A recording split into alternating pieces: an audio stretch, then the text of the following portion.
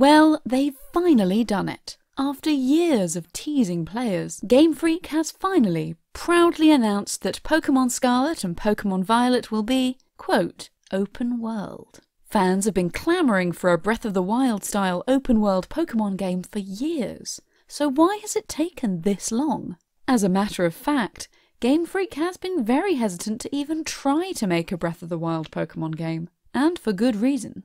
According to longtime Pokemon producer Junichi Masuda, Game Freak hasn't wanted to make an open world Pokemon game because it already exists. It's the real world. When asked in 2017 about a Pokemon answer to Breath of the Wild, Masuda said, An open world like Zelda. If you were to be exploring that world and catching Pokemon in that space, would that be the best way to enjoy the experience? Or would that be more similar to how Pokemon Go is, where it's merged with the real world?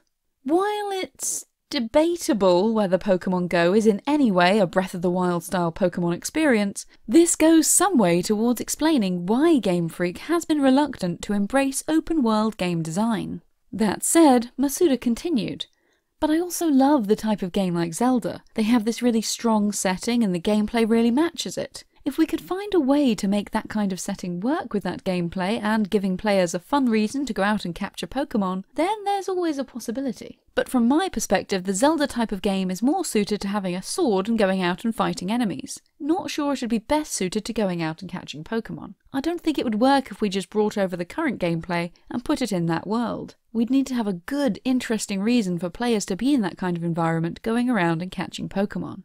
Based on interviews with other creators involved with Pokemon, it's clear that fan demand provided the impetus to find a way to make open world games work. Speaking about Pokemon Sword and Shield, the previous generation of Pokemon titles, director Shigeru Ohmori said, We definitely really want to answer all the wishes of our fans and live up to their expectations. Which is something that's quite challenging, so in that sense, yeah, there's definitely a pressure.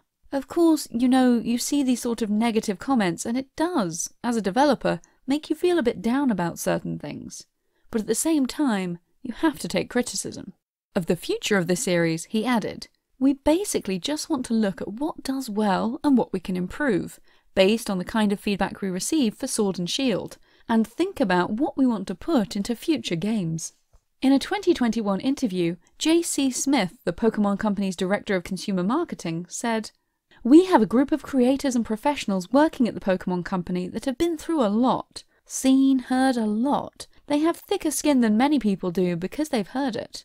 So it seems that, despite not being particularly keen on creating an open world Pokemon game, the team at Game Freak have been striving to listen to fan feedback. This willingness to listen to the fans is what led to the creation of Pokemon Legends Arceus, a game which was very well received for its unique gameplay and fresh new spin on the iconic formula.